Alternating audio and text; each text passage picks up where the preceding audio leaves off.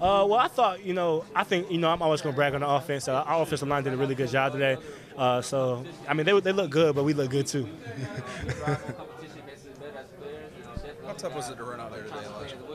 Um, I mean, our defense is one of the best defenses in the SEC, so anytime you got to run on them, it's always tough, but that makes us better, so we look forward to it every day.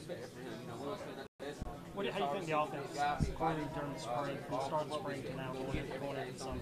I think we the things we focused on. We had goals at the beginning of the uh, the beginning of the spring, we worked on those goals, and I think we achieved most of them. What about the running back group? I know everybody wasn't there, but what do you think about this group coming out of the spring? Uh, I think we're uh, just as talented as ever, and I look forward to when everybody gets healthy, how, how much better we'll be. It's got to be fun to run behind an offensive line like that. Yeah, trust me, it is.